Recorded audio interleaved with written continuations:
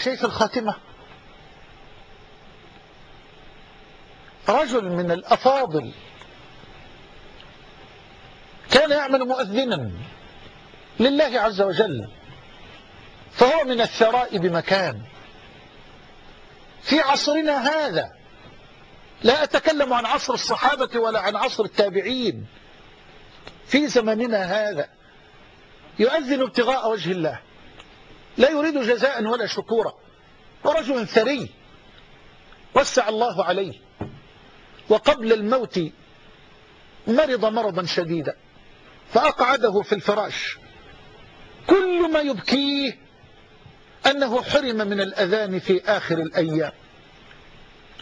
وفي اليوم الذي قدر الله عليه الوفاة يبكي لربه جل في علاه ويقول يا رب يا رب أي ذنب هذا الذي ارتكبته لأتوب إليك منه؟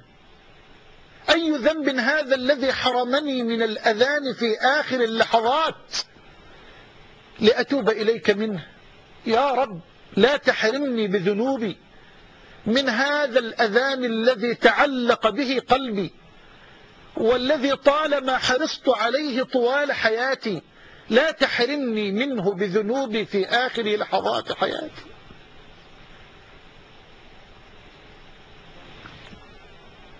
وحان وقت العصر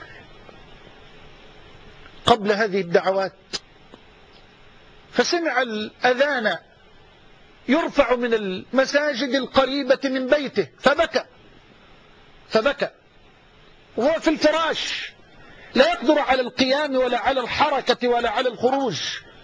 وإذ به يقوم ويقف على السرير الذي ينام عليه ويتجه إلى القبلة ويرفع الأذان في بيته. الله أكبر الله أكبر.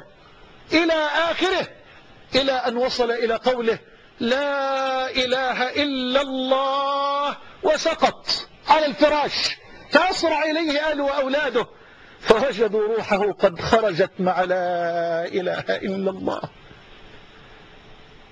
يا لها من خواتيم يا لها من خواتيم.